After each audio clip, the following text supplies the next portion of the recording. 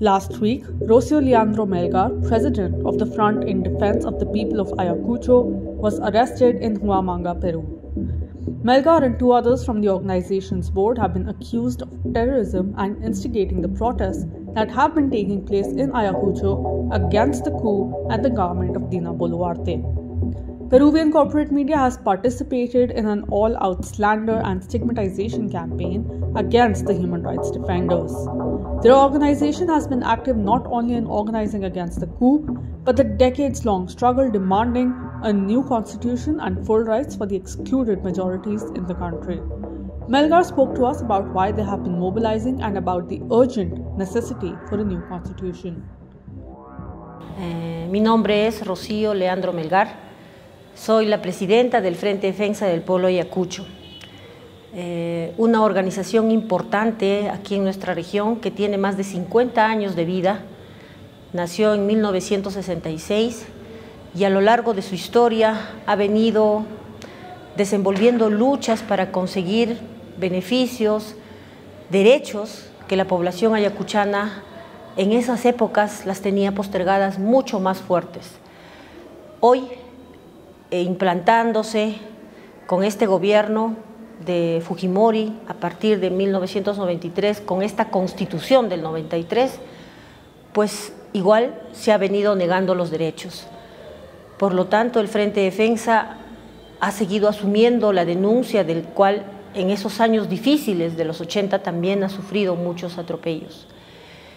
Ahora nos encontramos de la misma manera en una crisis generalizada, económica, política, social, y el Frente Defensa orgánicamente ha decidido continuar la lucha con su bandera principal, que es la lucha por una nueva constitución a través de asamblea constituyente con participación popular. Esto no, hemos visto la necesidad de reunirnos y tomar medidas ya se había asumido en ese sentido nosotros el tema de tomar acciones este, en eh, movilizaciones, en rechazo a este golpe que ya veníamos y sentíamos que iba a darse. Así es que después del 7, ocurridos los hechos, pues también nos hemos reunido inmediatamente de emergencia a nivel nacional y eso ha sido la réplica acá. Se decidió en una asamblea casi cerca, más de 400 personas en, un, en una asamblea virtual donde hemos determinado que tendríamos que ir a un paro. Y ese paro fue determinado para el 15. Del modo que Ayacucho y otras regiones eh, ya venían levantándose antes que del día 15, nos hemos sumado orgánicamente a ese paro del 15. Por lo cual el Frente Defensa ha hecho la consulta a sus bases y todos nos hemos sumado y por eso hemos salido. Pienso que por esos hechos suscitados ha quedado una imagen como que Ayacucho cuando va a hacer una, una movilización o medidas de lucha como un paro o lo que fuese, creo que la perspectiva o la mirada del Estado es ver que son terroristas. Rechazamos esa actitud, de verdad no tendría otro nombre que decirlo miserable, porque es la única forma que han pensado así para venir a haber atacado de esta manera. Creemos que estamos en otros tiempos.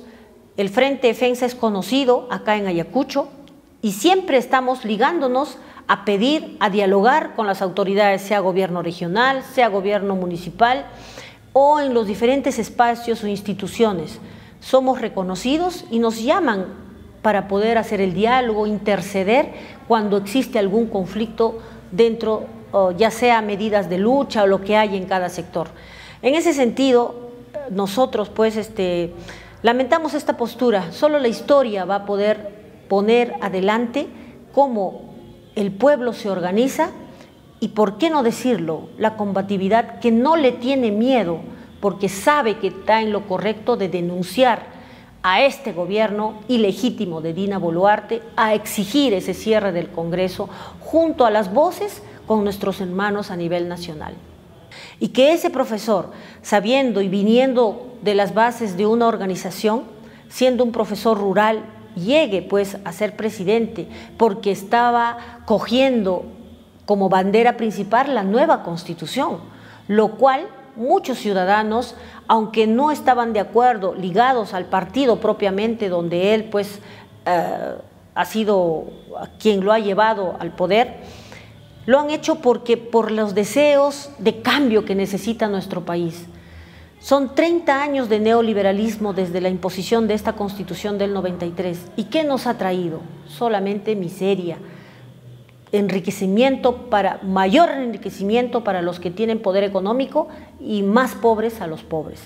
En ese sentido, el pueblo en sí ha salido pues como viéndolo como una esperanza, porque alguien que nos conoce, que ha luchado con nosotros, llegue